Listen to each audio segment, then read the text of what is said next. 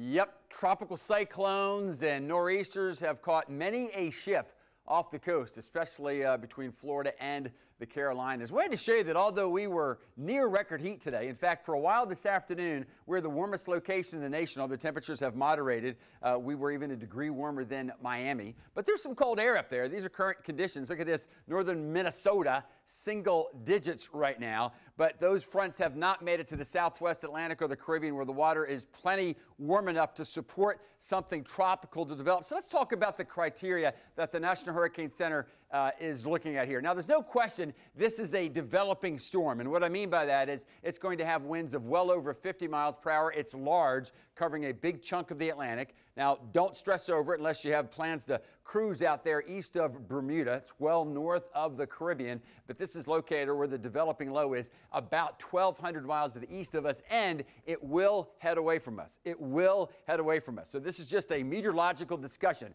What are the three main criteria that we're looking for?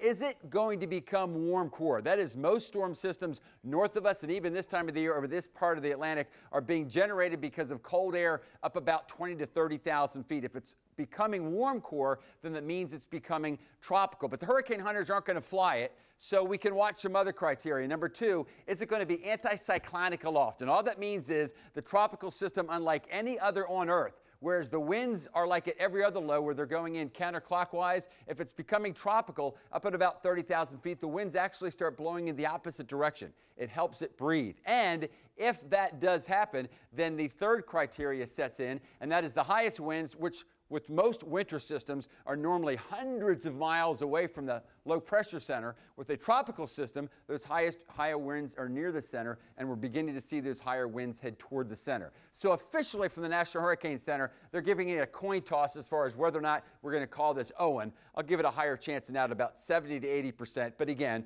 more of a meteorological discussion and really just support of the oceans that just continue to warm. What about for us? Well, this is looking east right now. There's some moisture out there, but skies are just about clear. Pretty good for sky gazers. Notice not much chance of rain over the next five days. Let's come back home. Let's take a look at the beach. If there's one place where we'll notice the impacts of potentially Owen forming, it's at the beaches where surf may increase later on in the week. I'll do some research for you and let you know if that in fact is going to happen. Notice the warmth just expands through Friday, then we'll see some gradual moderation of the temperatures from Sunday through Tuesday.